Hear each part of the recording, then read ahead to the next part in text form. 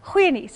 Ons is terug op televisie vanaf Sondag 12 Februarie om 11:00 die oggend op SABC 2. Om by te dra tot hierdie bediening, SMS die woord na 49724. Goeiedag en welkom by die oordeenking. Dit's lekker vir my om weer 'n bietjie saam met julle te kuier en ons is nog steeds besig om te kyk na woorde, goed wat Jesus gesê het en wat ons in die evangelies lees en hoe ons hierdie woorde deel van ons lewe kan maak. Nou vandag begin ons en ons lees Johannes 8 vers 51. Ek verseker julle, as iemand my boodskap gehoorsaam, sal hy so nimmer as te nooit sterf nie. Nou dis 'n interessante stuk wat Jesus en woorde wat hy hier spreek want net nou die dag sê iemand vir my, "Hoe kan Jesus dit sê? Hoe kon hy dit gesê het want want ek is bang om te sterf en en sekerlik gaan ons almal sterf en ja, ons almal gaan sterf." Dis deel van van ons lewe en deel van hoe ons deel gaan hê in Jesus se se sterfte. Ons almal gaan sterf, maar wat Jesus hiervan praat is hy sê as jy hom volg en sy woorde gehoorsaam, sal jy nie in die ewigheid sterf nie. Dan sal die dag wanneer jy fisies en liggaamlik op hierdie aarde sterf, aanhou leef in die ewigheid en in die hemel en en dis wat hy hier sê.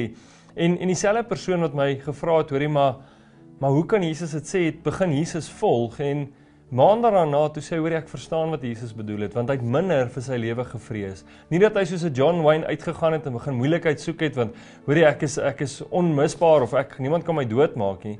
Nee, hy het begin besef waaroor die lewe gaan en daar veel meer is as as hierdie tyd op aarde.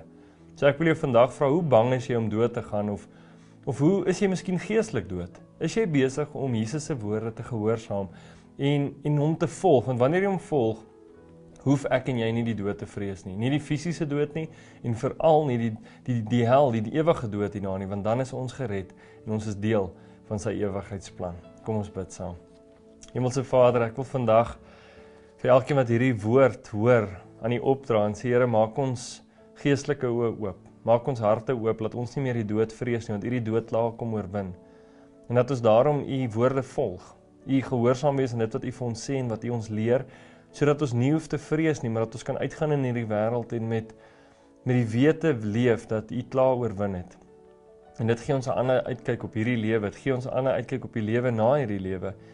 En skielik is daar rustigheid. Skielik is daar kalmte, daar's 'n opgewondenheid om te weet maar ons sal nie sterf nie want ons hou aan leef saam met U.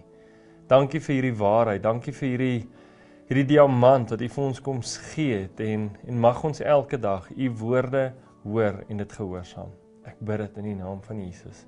Amen. Baie sterkte vir die dag en gaan sit bietjie en dink hoe gehoorsaam is jy aan dit wat Jesus vir jou sê.